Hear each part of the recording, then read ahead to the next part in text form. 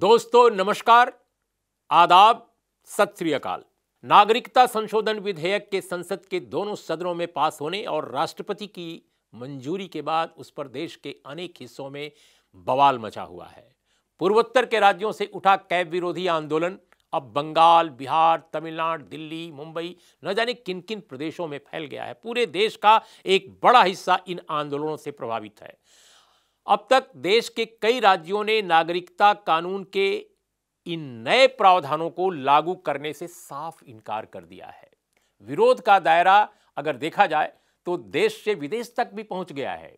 संयुक्त राष्ट्र मानवाधिकार आयोग ने कहा यह कानून मूलतः विभेदकारी है और अंतर्राष्ट्रीय कानूनों और स्वयं अपने संविधान के प्रति भारत की वचनबद्धता के विरुद्ध है। सरकार से बहुत अच्छा रिश्ता रखने वाली अमेरिका और बांग्लादेश की सरकारों ने भी इस कानूनी संशोधन पर चिंता जताई है। भाजपा ने राज्यसभा में संसदीय प्रबंधन करके बिल पास तो करा दिया। अब उसके सामने बड़ा संकट और बड़ी चुनौती है कि जनता के विरोध का प्रबंधन वो कैसे करे? पार्टियों का प्रबंधन तो वो कर सकती है, लेकिन जनता का कैसे करे? लगभग सारा पूर्वोत्तर कैब एनआरसी को लेकर जल रहा है। असम सबसे ज़्यादा अगर आंदोलित है तो उसकी ठोस वजह है। उसने पाँच साल, पूरे पाँच साल एनआरसी के भयानक अभियान की यंत्रणा को झेला है। अपने आप को असम का वास्तविक निवासी साबित करने में कईयों को अपनी जान तक गंवानी पड़ी। बड़े पैमाने पर लोगों को डिटेंशन सेंटर भेजा गया। इसमें ऐसे रिटायर ऑफिसर भी थे आर्मी के, जिन्होंने करगिल के मोर्चे पर भारत के लिए लड़ाई लड़ी थी। पर दिल्ली में गृह मंत्री अमित शाह और गुवाहाटी में मुख्यमंत्री सदानंद सोनोवाल कहते रहे कि असम में एनआरसी के नतीजे बहुत तेज़ी से लागू किए जाएँगे। पर हुआ क्या? एनआरसी के नतीजे आ गए। पर भारतीय जनता पार्टी और उसकी मंशा पूरी नहीं हुई। उसके इस झूठ का उसकी ही एनआरसी ने पर्दाफाश कर दिया कि असम के कथित घुसपैठिए बांग्लादेशी मुसलमान केवल हैं। 19 लाख अनधिकृत लोगों में तकरीबन 11 लाख से अधिक हिंदू या गैर मुस्लिम निकल आए। तब सरकार ने कहा एनआरसी के नतीजों पर अमल नहीं होगा। सरकार जल्दी ही नागरिकता के कानून में बदलाव करेगी। फिर एनआरसी लाएगी, जो असम सहित पूरे देश में लागू होगा। लेकिन प्रधानमंत्री मोदी ने अभी झारखंड की एक रैली में मैं सुन रहा था, वो कह रहे थे कि कैब से घबराने की किसी को ज़रूरत नहीं है। किसी से भारतीय नागरिकता के लिए वो हिंदू हो या मुसलमान हो, जो भारत का नागरिक है, उससे कोई उसको परेशान होने की ज़रूरत नहीं है। कहने में मुझे अच्छा नहीं लग रहा है कि हमारे प्रधानमंत्री झूठ बोल रहे थे। जो मैंने उनको सुना। एनआरसी में क्या हुआ था असम में?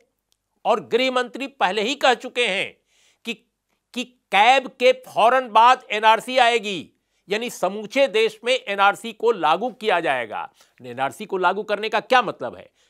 मतलब यह है कि लोगों से कहा जाएगा कि वो अपनी नागरिकता का प्रमाण दें, चाहे वो मुसलमान हो, चाहे वो हिंदू हो, चाहे वो सिख हो, चाहे वो बौद्ध हो, चाहे वो जैन हो, चाहे वो ईसाई हो। माफ़ कीजिएगा।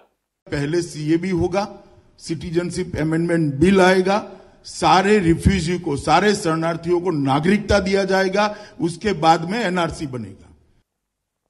तो अगर सरकार ये झूठ बोल रही है, सरकार के शीर्ष पदों पर बैठे लोग झूठ बोल रहे हैं तो ये तो बहुत ही दिक्कत की बात है, बहुत दुख की बात है। देश और दुनिया के तमाम कानूनविद बता रहे हैं कि मौजूदा कैब सिर्फ़ भारतीय संविधान के अनुच्छेद 14 के ही उलट नहीं है, वो संविधान की बुनियादी संरचना, विचार और उसके कई अन्य अनुच्छेदों के भी विपरीत है। नागरिकता और शरण के बारे में हमारी संविधान सभा में विस्तार से बहस हुई थी दोस्तों। इसमें जवाहरलाल नेहरू, डॉक्टर भीमराव अंबेडकर अलगू राय शास्त्री, ब्रजेश्वर प्रसाद और महमूद अली बेग जैसे वरिष्ठ सदस्यों ने महत्वपूर्ण विमर्श पेश किया, जिसके आधार पर नागरिकता के प्रावधान तय किए गए। इतिहास की कैसी विडंबना है कि देश की आज़ादी की लड़ाई में जो हिस्सेदार ही नहीं थे, उनके राजनीतिक वंशज आज देश के संविधान को भगवा चादर पहना रहे हैं। और डंके की चोट पर आरएसएस के प्रमुख कहते हैं कि भारत एक हिंदू राष्ट्र है, अपनी सरकार पाकर अब वे इसे धीरे धीरे संवैधानिक तौर पे जामा पहनाने की कोशिश कर रहे हैं। अब आप ही सोचिए, नागरिकता कानून में जो संशोधन किया गया है। उसके बाद भारत में अब सिर्फ़ पाकिस्तान, बांग्लादेश और अफ़गानिस्तान से आने वाले या आने के इच्छुक गैर मुसलमान, यानी हिंदू, सिख, ईसाई, बौद्ध, जैनी और पारसी ही भारतीय नागरिकता पा सकेंगे। कानून में प्रताड़ित अल्पसंख्यकों की श्रेणी में मुसलमानों को नहीं शामिल किया गया है। क्या पाकिस्तान के जो मुहाजिर हैं, जो अहमदिया हैं, क्या वो प्रताड़ित नहीं है? क्या वो अल्पसंख्यक नहीं है? फिर इस कानून में सिर्फ़ मुस्लिम मुस्लिम बहुल आबादी वाले तीन पड़ोसी देशों के शरणार्थियों की नागरिकता को ही क्यों संबोधित किया गया? क्या म्यांमार, श्रीलंका और चीन हमारे पड़ोसी नहीं है? अगर इस कानून के पीछे कम्युनल के बजाय मानवीय नज़रिया होता तो निश्चय ही इसमें म्यांमार और श्रीलंका को भी शामिल किया गया होता, ताकि भारत में पहले से रह रहे हज़ारों रोहिंग्या और हज़ारों तमिलों के मसले भी हल किए जा सकें। कट ऑफ़ ईयर भी 2014 रखा गया है। असम के लोग यूँ ही किसी के बहकावे में आकर सड़कों पर नहीं है। उनका साफ़ शब्दों में कहना है कि उन्हें किसी तरह की बहिरागत आबादी मंजूर नहीं, चाहे वो हिंदू हो या मुसलमान हो। और इसका निपटारा सन 1971 कट ऑफ़ ईयर जो पहले तय किया गया था सम आंदोलन के बाद, उससे होना चाहिए। असमिया लोगों ने पूरे पाँच साल एनआरसी की पीड़ा झेली है। वे दर्द के बड़े दरिया से गुजरे हैं। दमन और सत्ता की गोलियों से कई आंदोलनकारियों के मारे जाने के बावजूद वहाँ आंदोलन लगातार तीखा हो रहा है। गुवाहाटी में होने वाली प्रधानमंत्री मोदी और जापानी प्रधानमंत्री शिंजो की शिखर वार्ता, यहाँ तक कि शिंजो साहब की भारत यात्रा ही रद्द करनी पड़ी। पर सरकार चाहती है कि भारत और दुनिया को मालूम न हो कि मोदी की अगुवाई में इस वक्त भारत में ऐसी सरकार है जिसने स्वयं अपने ही फैसले से देश को बुरी तरह डिस्टर्ब कर दिया है। सरकार ने मीडिया को एडवाइजरी की शक्ल में लिखित हुक्म दे डाला है, दे डाला है कि ऐसे प्रदर्शनों को टेलीविज़न पर मत दिखलाया जाए। इमरजेंसी में सेंसरशिप थी कि क्या लिखना है और क्या नहीं।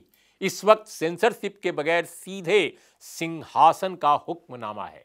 मनुवादी हिंदुत्व राजा महाराजाओं की तरह सीधे हुक्म देता है अपने भद्दे कानून के खिलाफ खड़े लोगों की आवाज़ बाहर न आने के लिए वह किसी वैध, अवैध कानून का भी सहारा नहीं लेता।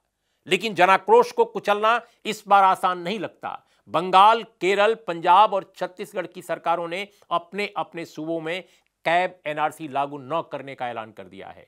यह बात ठीक है कि नागरिकता का मामला केंद्र का विषय है, पर केंद्र अगर निरंकुशता के नंगे नाच पर उतारू हो जाए तो उससे असहमत राज्य क्या हाथ पर हाथ धरे बैठे रहेंगे?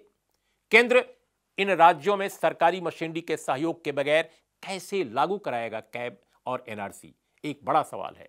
मुझे लगता है कि केंद्र और राज्य में बड़े टकराव का एक मंजर सामने आ रहा है। ऐसे में करोड़ों लोगों लोगों की निगाहें अब इस देश के अगर देखा जाए तो सुप्रीम कोर्ट पर टिकी हुई हैं। सिर्फ़ कोर्ट ही केंद्रीय सत्ता बनाम जनता और केंद्र और राज्यों के बीच जारी इस तीखी सियासी जंग से देश को बचा सकता है। खबर है कि सुप्रीम कोर्ट में कैब को चुनौती देने वाली दर्जनों भर याचिकाएँ दायर हो चुकी हैं। देखिए सुनवाई में क्या निकलता है। आज हमारी दूसरी कहानी है मेक इन इंडिया बनाम रेप इन इंडिया। दोस्तों, ये एक बड़ा अजीब तरह की नौटंकी देखी गई। जमाने से देखा है कि संघी भाजपाई नारेबाजी, अनुप्रासबाजी और जुमलेबाजी में सबसे आगे रहते हैं। लेकिन अगर कोई दूसरा कोई ऐसी शब्दबाजी करे, ऐसे कोई नारेबाजी करे तो उससे वो नाराज़ हो जाते हैं। वे करते कुछ खास नहीं, पर बोलते बहुत हैं। अब आप ही खोज लीजिए, मेक इन इंडिया का कहीं अता पता है क्या? लेकिन चला था नारा, ज़बरदस्त चला था एक समय। एक समय मेक इन इंडिया का नारा कुछ यूँ गूंजा, मना, मानो ऐसा लग रहा था कि भारत दुनिया के नक्शे पर एक बहुत बड़ा कारोबारी, औद्योगिक विकास और निर्माण क्षेत्र का बड़ा विकसित देश बन जाएगा। पर नोटबंदी ने हमारे देश के छोटे मझोले उपक्रमों को जितना नुकसान पहुँचाया, उतना तो किसी बाढ़, भूकंप या सुखाड़ ने भी नहीं पहुँचाया। ऐसा लगा मानो हमारे देश के छोटे मझोले उपक्रमों पर किसी ने बड़ा बम गिरा दिया है। अब तक अगर आप देख लीजिए, अब अगर कोई नेता, लेखक या कार्यकर्ता इस मेक इन इंडिया की बखिया उधेड़े और देश में बढ़ते हुए रेप, गैंग रेप की वारदातों पर चिंता जताए तो इसमें क्या कसूर किसी का? पर हमारे सत्ताधारी सांसदों, यहाँ तक कि कुछ भारी भरकम मंत्रियों को भी इससे बड़ी परेशानी है कि विपक्ष का एक बड़ा नेता मेक इन इंडिया का मज़ाक उड़ाते हुए कहे कि आज रेप इन इंडिया हो गया है। कैसा फूहड़ सीन था, जिस वक्त पूरा पूर्वांतर कैब के खिलाफ सड़कों पर था। दिल्ली, चेन्नई और मुंबई में उग्र विरोध प्रदर्शन हो रहे थे। उस समय भाजपा नेताओं का एक, के खेमे ने देश के प्रमुख विपक्षी नेता के बयान को तोड़ मरोड़ कर पेश करना शुरू कर दिया। भाजपा की ये बहुत पुरानी आजमाई हुई टैक्टिस है कि जब उसकी किसी विफलता या उसके किसी कुकर्म के खिलाफ जनता में आक्रोश ज़्यादा हो तो कोई ऐसा मुद्दा उठा दो या कोई ऐसी घटना करा दो कि लोगों का ध्यान बढ़ जाए। इसके लिए इस बार सत्ताधारी दल ने ट्रिविलाइजेशन और अति नाटकीयता में सिद्धस्त अपने कुछ गैर राजनीतिक मिजाज के नेताओं और नेत्रियों को आगे किया। ये उक्त विपक्षी नेता के खिलाफ चुनाव आयोग भी चले गए। उनसे माफ़ी माफ़ी की मांग करने लगे, पर विडंबना देखिए तमाम भाजपाई नेता अपनी पार्टी के पूर्व केंद्रीय मंत्री चिन्मयानंद। विधायक कुलदीप सेंगर पर लगे आरोपों रेप के जो गंभीर मामले थे, उन पर आज तक कभी बोले नहीं, कोई आवाज़ नहीं उठाए। बल्कि रेप के इन आरोपियों को लगातार डिफेंड करते और कराते रहे। आसाराम बापू याद हैं, राम रहीम याद हैं, नित्यानंद स्वामी याद हैं, जो सुना है कोई द्वीप खरीद लिए हैं आजकल। इनके मामलों पर भारतीय जनता पार्टी कहाँ खड़ी थी, याद है कुछ आपको? तो रेप इन इंडिया कहने पर आज शोर क्यों मचा रहे हो भाई? अगर रेप हो रहे हैं, अगर गैंग रेप वाकई सरकारी आंकड़ों के मुताबिक भी बढ़े हैं तो क्यों इतनी परेशानी है? दोस्तों, आज बस इतना ही। जाते जाते एक टिप्पणी ज़रूर करूँगा कि इस वक्त देश वाकई एक नाजुक मोड़ पर खड़ा है। हमारे ज़रूरी सवाल, चाहे वो शिक्षा का हो, सेहत का हो, रोज़गार का हो खेती बाड़ी का हो, सबको दरकिनार कर इस सरकार ने एक ऐसा मुद्दा उछाला है नागरिकता का, शरणार्थियों का मामला, और उसमें भी हिंदू मुसलमान करने की कोशिश की गई है, लोगों को बांटने की कोशिश की गई है, एक खतरनाक साजिशों का एक अंबार सा हमारे सामने खड़ा है। अब आप देखिए, इस देश को अगर बचाना है तो सचमुच आवाज़ों को उठाना पड़ेगा और आवाज़ों में एकजुटता लानी पड़ेगी। इन्हीं शब्दों के साथ आपका बहुत बहुत धन्यवाद, नमस्कार, आदाब, सत श्री अकाल।